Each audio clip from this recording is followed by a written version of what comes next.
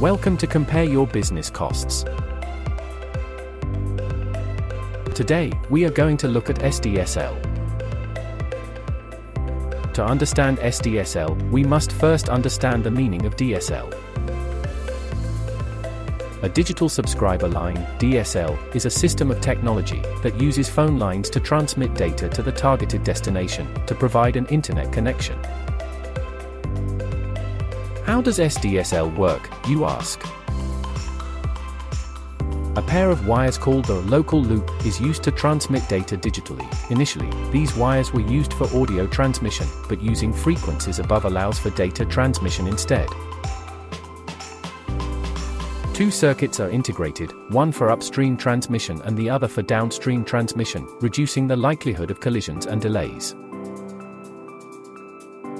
For companies, it is more important to use SDSL as there are equal needs for employees to download client information and upload company information. We hope this video was helpful. If you want to be the office hero, visit Compare Your Business Costs today.